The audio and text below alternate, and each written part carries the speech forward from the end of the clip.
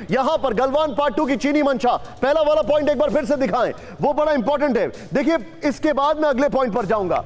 लाठी डंडे और कटीले तार का इस्तेमाल कर छोटी लड़ाई को अंजाम देने की कोशिश। छोटी लड़ाई। क्यों? नेक्स्ट पॉइंट टू यहाँ पर प्ले करें। बंदूक गोलीबारी का इस्तेमाल करते तो हालात फुल स्केल वॉर में तब्दील हो जाते। मैं विनोद दत्ता सर के पास जाऊँगा। विनोद सर आप क्विकली बंदूक का अगर इस्तेमाल करते गोलीबारी का इस्तेमाल करते तो दोनों लोग इतनी एज पर बैठे कि कभी भी फुल स्केल वॉर हो सकता है। इसीलिए लाठी डंडे कटीले तार ये सब लेकर आए। Do you agree with this yes I agree with you क्योंकि अगर uh, उन्होंने हथियारों का इस्तेमाल किया होता या हमारी सेना इतनी चार्ज बैठी है या दोनों सेनाएँ इस तरह से इस तरह की सिचुएशन में है कि कोई भी ट्रिगर या कोई भी इस तरह की जो वारदात है वो एक लिमिटेड ऑफेंसिव को बिल्कुल इनिशिएट कर देगा और उस लिमिटेड ऑफेंसिव को कंट्रोल करना या कंटेन करना दोनों देशों के लिए मुश्किल हो जाएगा।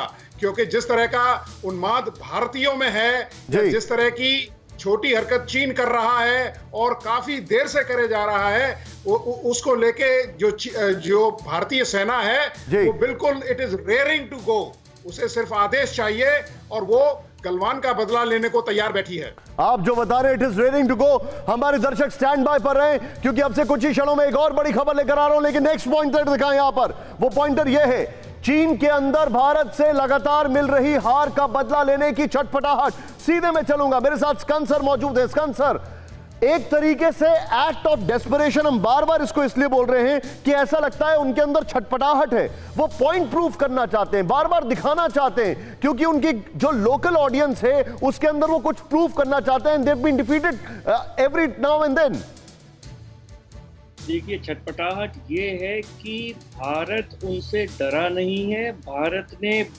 ईट का जवाब पत्थर से दिया है, वो उनको हजम नहीं हो रहा।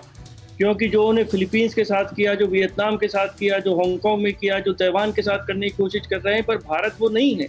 तो वो वो हजम नहीं कर पा रहे हैं। जैसा कल जयशंकर हमारे विदेश मंत्री ने कहा था सिचुएशन बहुत सीरियस है जी। और कि पॉलिटिकल लेवल पे ही कन्वर्सेशन हो सकता है। नहीं तो जैसा कि अभी जनरल साहब ने कहा कि फौजें इतनी इतनी चार्ज हैं छोटी सी भी बात फुल फ्लेजेड लड़ाई में परिवर्तित हो सकती है।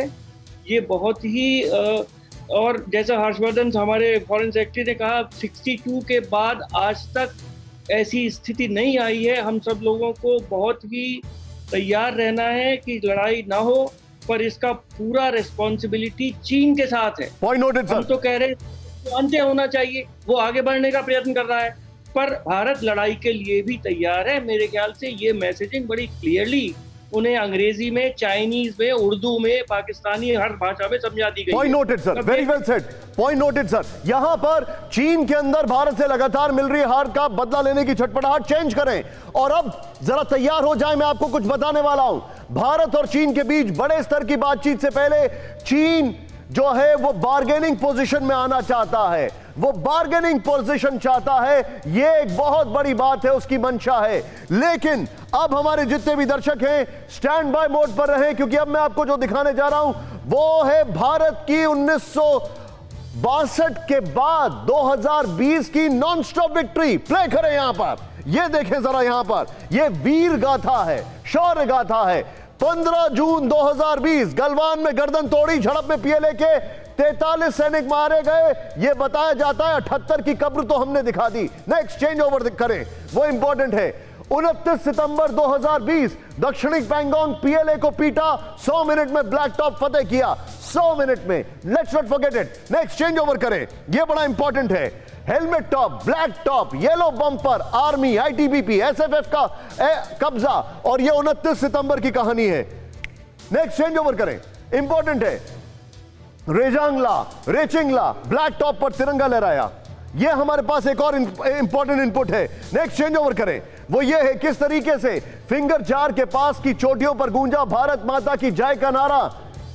ये हमारे सामने चीज़ें आ रही हैं। मैं सीधे चलूँगा यहाँ पर। ये वीर गाथा है, ये शौर्य गाथा है।